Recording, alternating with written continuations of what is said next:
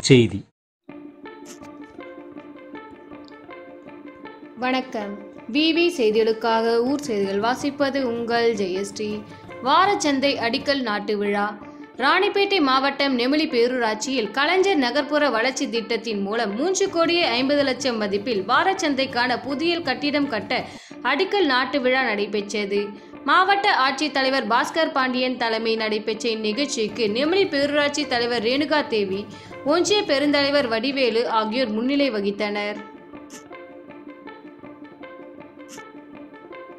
இதில் சிறப்பு அழைப்பாளராக கைத்தறி மற்றும் துணிநூல் துறை அமைச்சர் ஆர். காந்தி கலந்து கொண்டு நெமிலி பேரூராட்சியில் கலைஞர் நகர்ப்புற வளர்ச்சி திட்டத்தின் மூலம் மூன்று கோடி ஐம்பது லட்சம் மதிப்பில் வாரச்சந்தைக்கான புதிய கட்டிடம் கட்டுவதற்கான அடிக்கல் நாட்டும் பணியில் துவங்கி வைத்தார். அப்போது பேசிய அமைச்சர் ஆர். காந்தி கட்டுமான பொருட்கள் தரமானதாக பயன்படுத்தி பணிகள் விரைந்து முடித்து மக்கள் பயன்பாட்டிற்கு விரைவில் கொண்டு வர துரிதமாக பணிகள் மேற்கொள்ளப்பட வேண்டும் என கேட்டுக்கொண்டார்.